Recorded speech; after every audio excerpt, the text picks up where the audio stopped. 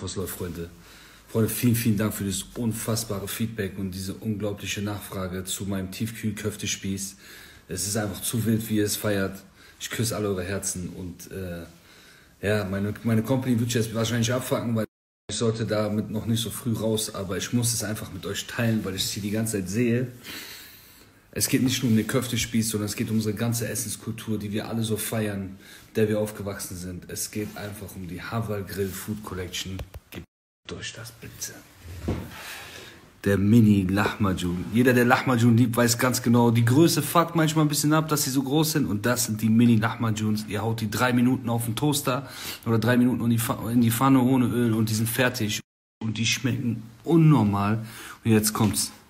Sujuk-Köfte. Köfte mit Sujuk und jetzt Cheese-Köfte mit Gouda-Käse.